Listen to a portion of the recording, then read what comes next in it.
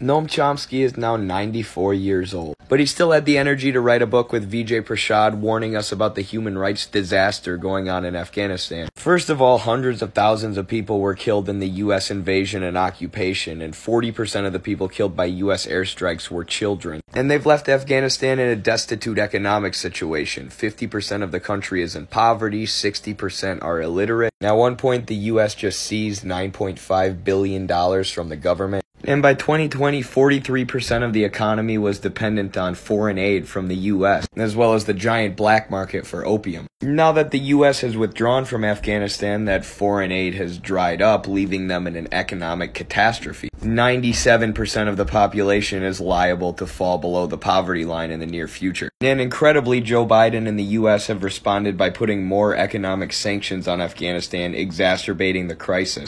U.S. foreign policy.